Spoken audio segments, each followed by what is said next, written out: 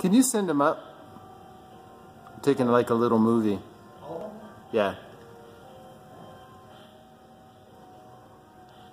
We just finished up here at DaVita. You can see we did the uppers here in this uh, brand new building, curtain wall area. This is out near uh, I-25 and Sunport.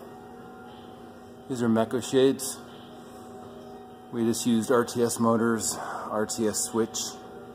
As you can see, pretty nice look. Not too noisy. Really a gorgeous building.